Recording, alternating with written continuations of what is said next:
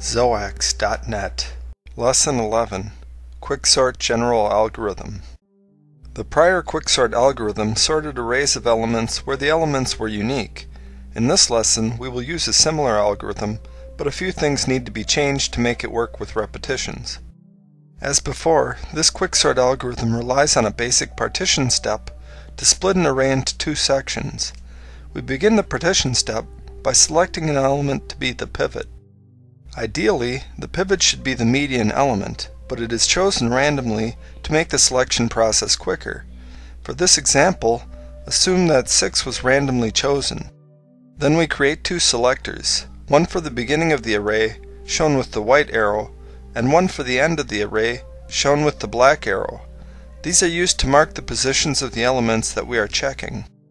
We move the first selector forward until we find an element that is greater than or equal to the pivot, and we move the second selector until we find an element that is less than or equal to the pivot.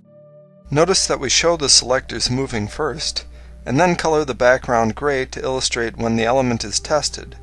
After both selectors find an element, we swap the elements. We continue doing this until the two selectors pass each other.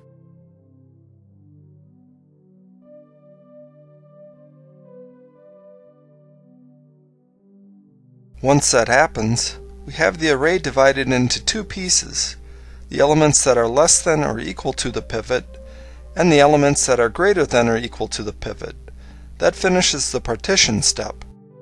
The quicksort algorithm is performed via a series of recursive partition steps that eventually subdivide the array into single elements. We will illustrate this process with a detailed example. We begin the quicksort with an unordered array like this one. Then we choose a pivot.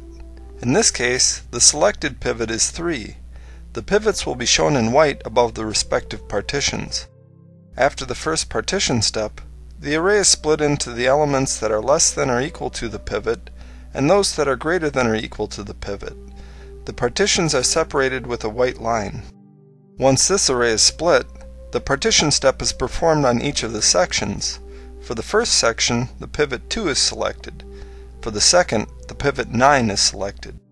After this set of partition steps, we have four partitions. In the array, we use white lines to illustrate the new splits in the array, while the old split is shown in gray. At this point, we have four sections. The partition step is performed on each section with the pivots 0, 3, 6, and 9. The new splits are shown again in white. After this last set of splits, the array is partitioned into eight pieces. However, we only need to be concerned about the two sections that have more than one element. For these, we have the pivots 3 and 5. In the last step, these two sections are partitioned into single elements and the array is sorted. Notice that the array was sorted two stages back in this case, but that was purely coincidental. A C++ implementation of the general quicksort is available on our lesson page at XoaX.net. There you can find an explanation of the entire program as well.